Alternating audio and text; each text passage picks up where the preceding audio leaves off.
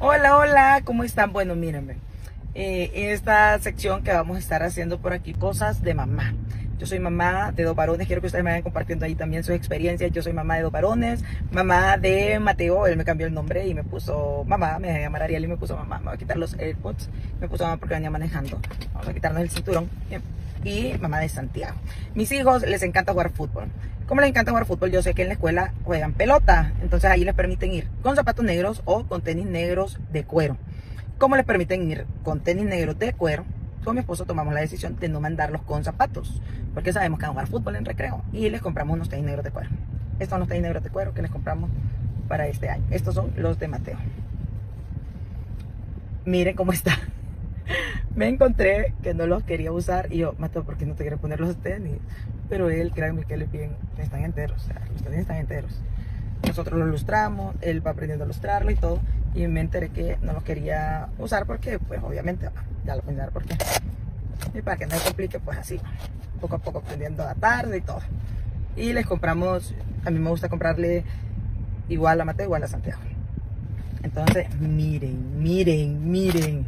Aquí están los tenis. La plantilla está ok, está 10 de 10. Muy bien.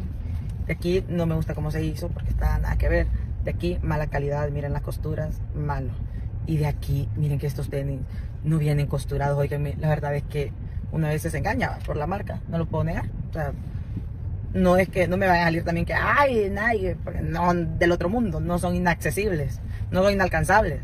Pero, y para eso trabaja uno, antes de que piensen, pero miren, pues obviamente mi hijo no se quería ir con los tenis así.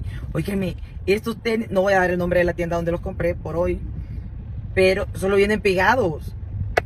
Miren, hola, no vienen ni costurados. Y yo me pregunto, ¿será que no son originales? Y los compré en una tienda, en un mall aquí en la capital.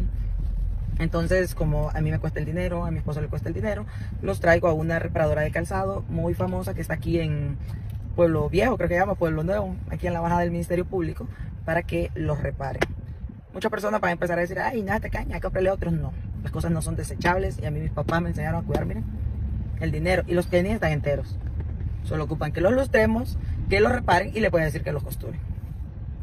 Y vas a seguirlos usando. Pero sí, mala calidad.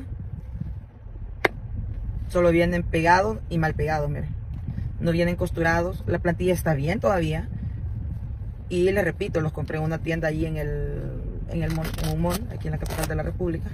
Y están ya despegados. Otra persona me va a decir, vos te los cómprale otro. No, no, porque todavía sirven, o sea, están buenos.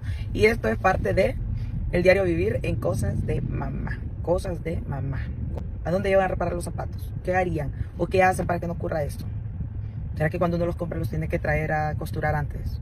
¿O qué me aconsejan? Bueno, nos vemos luego. Bye.